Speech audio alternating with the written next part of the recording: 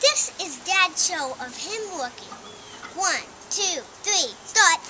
Hi, I'm Evil Ted reporting for Basketball, and I'm going to show you how to build a basketball court in your backyard in a place you might not normally think of. Okay, so I'm looking around the backyard and uh, I don't see any basketball court. Um, there's a uh, arbor that I also built. There's the garage. Huh, where could it be? Oh, there it is. Nice. Here's the path my boys and I used to play basketball on with one of those tiny little kitty hoops. Not too easy to make moves on that, as you might imagine. And we couldn't really rip up this path, so what I did was I incorporated it into the design of the court. So, how do you turn this into this? Look at that poor bastard working out there in the rain. Pathetic. Into this. Well, I started by trying to rent my own tiller at the Home Depot, nearly put myself in traction. It looks at first like you're making some progress, but you're really just moving dirt around. It's a big mistake to try it yourself. So I hired the professionals. They came in and dug a six inch deep trench with their big bobcat. I highly recommend the larger companies that have their own bobcats on hand. They tend to be cheaper than the smaller ones who have to have a bunch of guys dig the hole for you.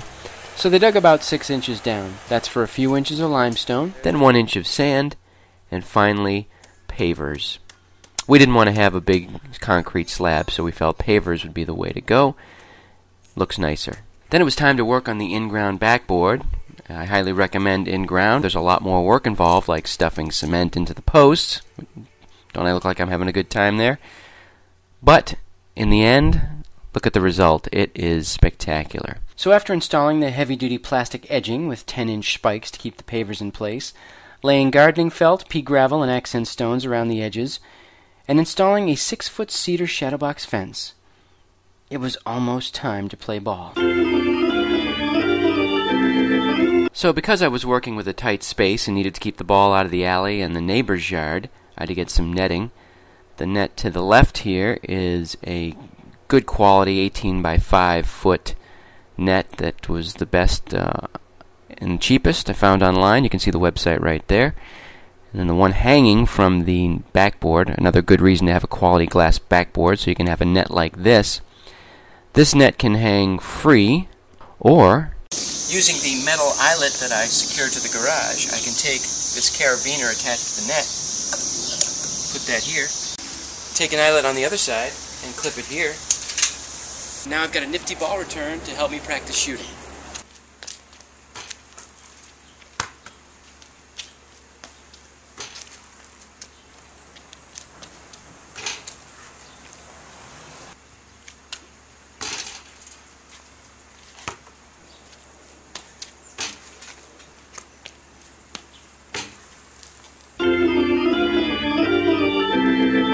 This is how I prepare myself to play against larger defenders.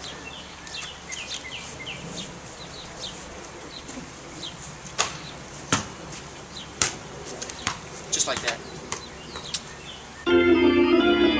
Sometimes I practice my Larry Bird shot. Then there's the moderate Larry Bird shot.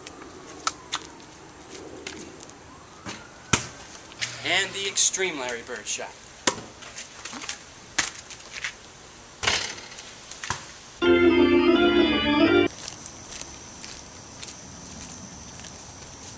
Sometimes I like to practice my off the roof shot.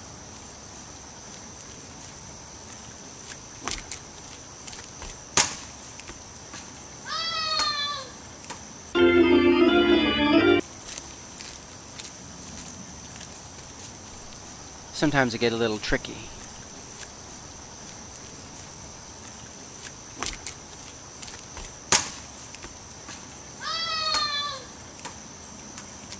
So there you have it, how to build a basketball court. But really it's for the kids, isn't it? Alright, give and go.